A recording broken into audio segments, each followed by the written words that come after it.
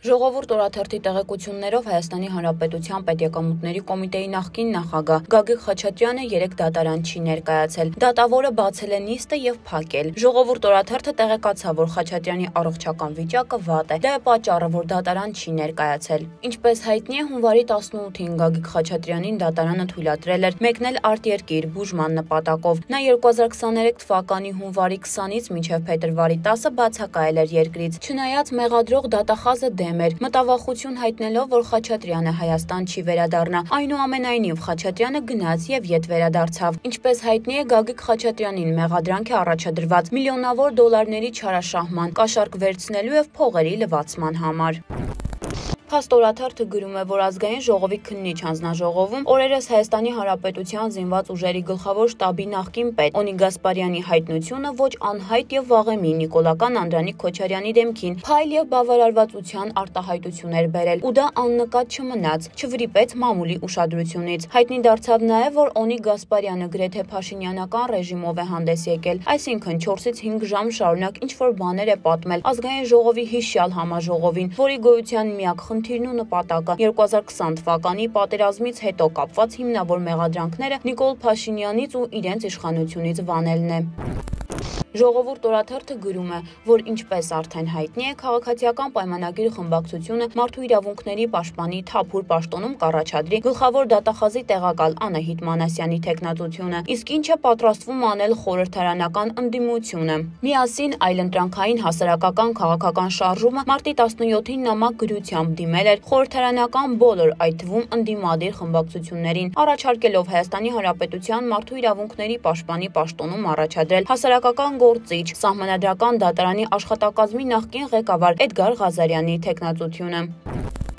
հրապարակ օրաթերթն էլ գրում է. «Ազգային ժողովը երեկ չընդունեց Սահմանադրական դատարանի դատավոր Սեդա Սաֆարյանի լիազորությունները դադարեցնելու հարցով Սահմանադրական դատարան դիմելու մասին Հայաստան խմբակցության ներկայացրած որոշման նախագիծը։ Քաղաքացիական պայմանագիրը հրաժարվեց մասնակցել փակ գախնի քվեարկությանը, այսինքն հստակ դիրքորոշում հայտնել խնդրի վերաբերյալ։ Քվեարկությանը մասնակցեց եւ կողմ քվեարկեց 30 ընդդիմադիր падգամավոր, մինչդեռ հարկավոր էր 65 ձայն։ Ուշագրավ է, որ ԿՊԱ-ականները վերջին պահին են հայտնել հայտնել իրենց անելիքը։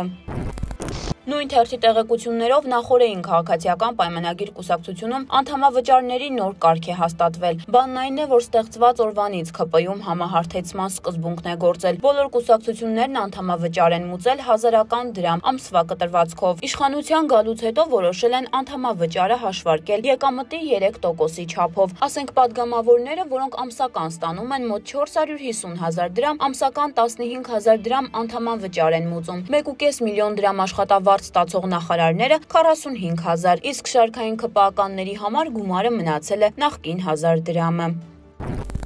Փաստորաթերթն էլ անդրադարձել է Արցախի Հանրապետության շրջափակման 100-րդ օրվան։ Թերթը գրում է, որ այս ամբողջ ընթացքում թշնամին բացի հումանիտար աղետը խորացնելու քայլերից դիմեց նաև ահաբեկչական գործողության, սպանելով 3 հայ ոստիկանի։ Ադրբեջանը շարունակում է թիրախավորել նաև խաղաղ բնակչությանը։ Արդեն ավելի քան 100 օր շրջափակված Արցախի ու զուգահեռ տեղի ունեցող գործընթացների մասին զրուցել ենք Արցախի Հանրապետության ազգային ժողովի Արդարություն խմբակցության падգամավոր Մետաքսե Հակոբյանի հետ։ Падգամավորը փաստի Արցախի հետ զրույցում նշել է, որ ի տարբերություն շրջափակման սկզբնական շրջանի, այժմ Արցախում այլն պատկերացումները։ Նա ասաց, որ եթե սկզբնական փուլում կենցաղային անհարմարությունները, կենցաղային խնդիրներն էին առավել շատ կարևորվում, հիմա ամբողջությամբ այլ են զգացողությունները։ Այժմ կենցաղային խնդիրները կարևորող մարդիկ այլևս չկան, որովհետև կա հստակ գիտակցում, որ սա պատերազմ է։ Պատերազմ, որտեղ բնականաբար կարևորը մարդկային կյանքն է, երեխայիդ վաղվա օրն է լինել չլինելը, ու եթե այդ պահին ինչ կուտես, գազ, հոսանք կլինի թե ոչ, բնավ կարևոր չէ։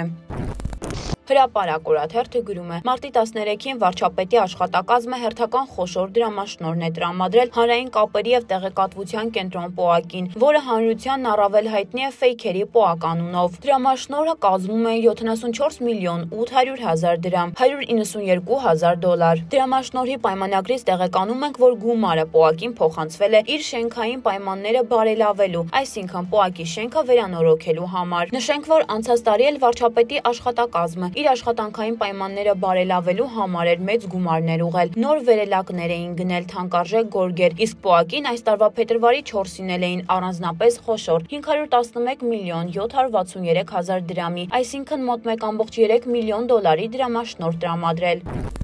Ժողովուրդ օրաթերթի տեղեկությունների համաձայն էլ Երևան քաղաքի դատարանը մի քանի անգամ ծանուցում է ուղարկել ազգային ժողովի քաղաքացիական պայմանագիր խմբակցության падգամավոր Սիսակ Գաբրելյանին ներկայանալու իր գործով դատական նիստերին, սակայն իշխանական падգամավորը չի ներկայացել եւ պատճառաբանել, որ ծանուցում չի ստացել։ Դատական համակարգը որոշել է Գաբրելյանին ծանուցում ուղարկել Հայաստանի Հանրապետության ազգային ժողովի միջոցով, որպեսզի նա ներկայանա դատարան։ Իսկ ինչ գործով պետք է Սիսակ Գաբրելյանը ներկայանա Երևան քաղաքի դատարան։ Բանն այն է, որ Հայաստան խմբակցության падգամավոր Արագածոտնի նախկին մարզպետ Աշոտ Սիմոնյանին մեղադրանք է առաջադրվել, որ նա Հայաստանի Հանրապետության ազգային ժողովի մոտ ազգային ժողովի բնականոն աշխատանքի խոչընդոտման նպատակով անցկացվող հավաքին խոչընդոտել է աշխատանքի վայր ժամանող ազգային ժողովի падգամավոր Սիսակ Գաբրելյանի երթևեկը, հնչեցրել անպարկեշտ արտահայտություններ։ Երեք ժողովուրդ օրաթերթը զրուցեց Սիսակ Գաբրելյանի հետ, հասկանալու համար, թե նա ի վերջո ներկայանալու է արդյոք դատարան, կատարելու է դատարանի որոշումը, թե էլի ծանուցում չի ստացել։ Չգիտեմ ինչ գործի մասին եք ասում, ծանուցում ստացել եմ, բայց այս անգամ էլ չեմ գնա, քանի որ երկրում չեմ լինելու։ Միացյալ Նահանգներ եմ մեկնում, ասել է նա։ Հրապարակ թերթն էլ գրում է, որ ազգային ժողովի քաղաքացիական պայմանագիր խմբակցության ղեկավարությանը ԿՊԱ-ականները պրիզնատ չեն գալիս եւ խմբակցության ղեկավար Հայկ Կոնջոյանն ու քարտուղար Արտուր Հովանեսյանը որերորդ անգամ ֆրակցիայի հատուկ նիստ են հրավիրում ու թիմակիցներին սպառնում կարգապահական տույժերով, այդ թվում աշխատավարձից պահումներով։ Երեկ էլ նիստերի օրակարգը սպառելուց հետո հերթական պատժիչ նիստն էին հրավիրել։ ԿՊ մեր աղբյուրներն ասում են, որ Կոնջոյանը նախատել է падգամավորներին ոչ միայն ազգային ժողովի, այլև խմբակցության նիստերի ծախսերից բացակայելու համար։ Ասել է, որ պատժի ձևեր են մտածելու։ Առիթը եղել է մարդու իրավունքների պաշտպանի տեխնացուի հետ նախորեի հանդիպումը, որին քիչ պատգամավորներ էին ներկա գտնվել։ Փաստ թերթը գրում է, որ գաղտնի չէ, որ տարբեր տեղական ու արտերկրյա կազմակերպություններ պարբերաբար սոցիոլոգիական հարցումներ են անցկացնում, այդ թվում իշխանությունների պատվերով։ Այդ հարցումների մի մասը հրապարակվում է, մյուս մասը համարվում է այսպես կոչված ներքին օգտագործման։ Փաստ թերթի տեղեկություններով այս տարվա սկզբից արդեն չհրապարակվող երկու հարցում է անցկացվել։ Դրանցից մեկին առիթ ունեցել են անդրադառնալ իշխանության ընդհանուր վարկանիշի կտրվածքով։ Ժողովուրդ օրաթերթի տեղեկություններով այսօր Արցախի խորհրդարանը լիագումար նիստում կքննարկի Արայք Հարությունյանի նախաձեռնած սահմանադրական բարեփոխումների նախագիծը։ Առաջարկվող փոփոխությունների համաձայն ֆորս-մաժորային իրավիճակներում, երբ օրինակ նախագահը անսպասելի հրաժարական է տալիս, մահանում է կամ ինչ-ինչ հանգամանքներից ելնելով, այլևս ի վիճակի չէ պաշտոնավարել, նախագահ ընտրելու լիազորությունը կտրվի խորհրդարանին։ Սա ընդգծենք չի վերաբերում նախագահի հերթական ընտրություններին։ Այս դեպքում նախագահին սահմանադրությամբ նախ նախատեսված կարգով ընտրելու է ժողովուրդը։ Արցախի ազգային ժողովի պետիրավական հանձնաժողովը 3 դրական եզրակացություն տվեց նախագծին։ Մանրամասներին կարող եք ծանոթանալ թերթերի այսօրվա համարում։ Սվետա Վարդանյան, Բաց TV